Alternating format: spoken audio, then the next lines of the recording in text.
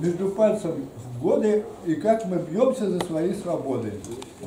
Но нужно, но хуже прочего, застойные процессы невосполним, невосполнимости утраченного дара.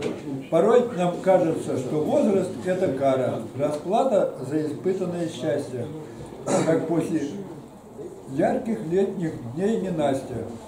Но эти мысли – результат обмана. Как следствие, одна большая рана. Нам головы эмоции морочат, вернуть пытаются проторенным дорогам, они нам жизнь без удовольствий прочат,